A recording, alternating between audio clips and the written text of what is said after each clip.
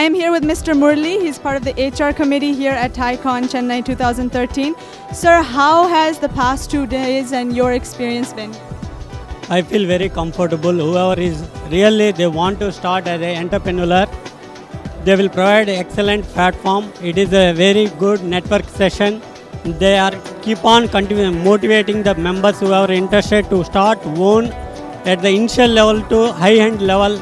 They want to build up not in a employee manner. They want to start and they will give a opportunity to more number of the employees and I provide the growth of the country.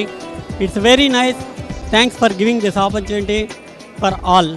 Definitely. Thank you so much, sir.